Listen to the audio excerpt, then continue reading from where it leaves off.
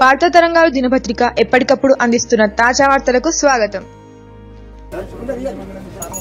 వనపర్తి జిల్లా కిలగనపూర్ మండలం సోయిపూర్ మానాజీపేట కమలుద్దీన్పూర్ గణపురం మామిడిమాడ అప్పరెడ్డిపల్లిలో రైతు వేదికలను రాష్ట్ర వ్యవసాయ శాఖ మంత్రి సింగిరెడ్డి నిరంజన్ రెడ్డి మంగళవారం ప్రారంభించారు. అనంతరం మాట్లాడుతూ రైతులందరికీ ఒకే కులం అది రైతు కులం అని అద్భుతాలు సృష్టించే ఏకైక రంగం వ్యవసాయ రంగం అని అన్నారు. ఆ వీడియో చూడండి. కానీ రోజు ఒక గ్రామానికి సంబంధించినటువంటి రైతులు ఇక్కడ ఆహ్వానించి షెడ్యూల్ ఇస్తాం వాళ్ళకి. ఏ సీజన్ ఆ సీజన్ సంబంధించిన షెడ్యూల్ ఇస్తాం. ఆ షెడ్యూల్ ప్రకారంగా రైతులకు సమాచారం ఇవ్వడము అవగాహన కల్పించడము డిపార్ట్మెంట్ బాధ్యత. దాంట్లో రైతు బంధు సమితి వాళ్ళు కూడా భాగస్వాములు కావాలి ఆ కార్యక్రమం. అధికారులతో పాటు రైతు బంధు సమితి సమితి కూడా ఉండి విషయాలను అర్థం చేసుకుని పది ఆ విషయాన్ని పంచేటువంటి ప్రయత్నం చేయాలి.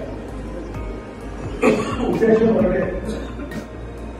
తెలంగాణలో సాగు విస్తీర్ణం పెంచి వీడనేటువంటి భూములు లేకుండా మొత్తం భూములకు సాగునీరు ఇచ్చి కరెంటు ఇచ్చి పెట్టుబడి ఇచ్చి బీమా ఇచ్చి రైతులకు అందరూ సేద్యం చేసుకుని బతికేటట్టు భూములు లేని వాళ్ళు ఆయా గ్రామాల్లో వాళ్ళకి ఉపాధి దొరికి వాళ్ళకి బతికేటట్టు వాళ్ళని బలోపేతం చేసినట్టు ప్రభుత్వం చర్య తీసుకుని ఇప్పుడు ఏం జరుగుతుంది? పంటల ముఖమే. ప్రజలు పంటల పంట పట్టింది. భూములు పంటల ముఖమే. ఈ ఉత్పత్తులు ఏటేటా విపరీతంగా వస్తాయి. మనం ఊహించడానికి ఉత్పత్తులు ఇప్పటికే ప్రారంభమైనవి వరి తీసుకుంటే పోయిన యాసంగి యాసంగి ఇప్పుడు మనం వేస్తున్నాం నాట్లు పోయిన యాసంగి. భారతదేశంలో మనకంటే ఎక్కువ ఏరియాలో వరి రాష్ట్రాలు ఉన్నాయి.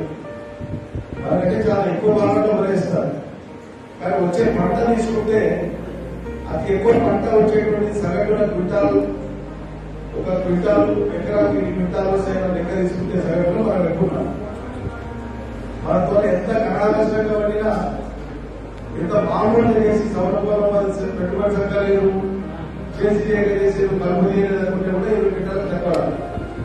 నాలుగు వస్తే ముప్పై పైన వస్తుంది ముప్పై నుంచి నలభై దాకా వస్తే చాలా బాగా వచ్చిన రైతుల మీద లెక్క నలభై ఖర్చు అయితే ఉన్న పరిస్థితి క్వింటాలు అయితే ఎంత బాగా చేసినా మన పైన ఉన్నటువంటి రాష్ట్రాలు ఉన్నాయి ఒడిశా కానీ అదేవిధంగా పైన బెంగాల్ కానీ ఉత్తరప్రదేశ్ మన నుంచి వెళ్ళిపోయినటువంటి ఆంధ్రప్రదేశ్ వస్తుంది పంజాబ్ వస్తుంది ఇవి మాత్రమే వరి దిగుబడిలో సగటు ఎక్కువ వస్తాయి. అంటే మన పండిన పంట పోయిన యాసంగిలో ముప్పై తొమ్మిది లక్షల ఎకరాలలో వేసినాం.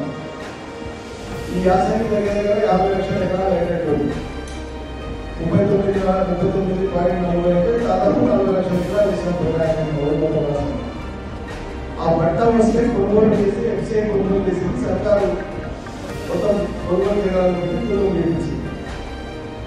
మొత్తం దేశమంతా కలిపి ఎఫ్సీఐ అనేటువంటి సంస్థ ఎఫ్సీఐ మనం కంట్రోల్ ఇచ్చేది వచ్చేది కార్పొరేషన్ ఆఫ్ ఆ ఎఫ్సీఐ సేకరిస్తే గుడ్లను సేకరించి మళ్ళా బియ్యాన్ని పట్టించి మిల్లుల ద్వారా ఆయా రాష్ట్రాలకు పంపిణీకి పంపిస్తారు వాళ్ళు సేకరించిన మొత్తంలో యాభై ఐదు శాతం ఒక్క తెలంగాణకి వెళ్ళేది సేకరించారు వాళ్ళు నూరు క్వింటాలు తీసుకుంటే దేశం మొత్తంలో యాభై ఐదు క్వింటాలు ఒక్క తెలంగాణ ఫ్రెండ్స్ ఈ వీడియో నచ్చితే లైక్ చేయండి షేర్ చేయండి.